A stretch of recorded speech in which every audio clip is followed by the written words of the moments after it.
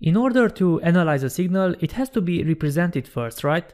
And this representation in communication systems is of two types. The first one is the frequency domain representation, and the second one is time domain representation.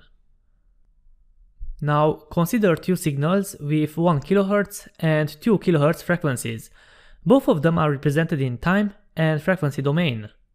Time domain analysis gives the signal behavior over a certain time period, right? And in the frequency domain, the signal is analyzed as a mathematical function with respect to the frequency. Frequency domain representation is needed where the signal processing, such as filtering, amplifying, and mixing are done.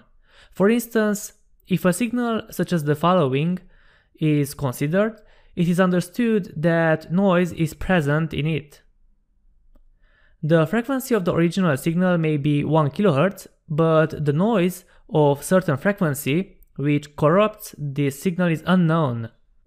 However, when the same signal is represented in the frequency domain, using a spectrum analyzer, it is plotted as shown in the following figure. Here we can observe few harmonics which represent the noise introduced into the original signal.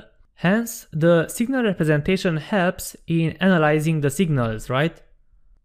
Now that you know some of the principles of modulation, it's time to delve into amplitude modulation technique and see how it works.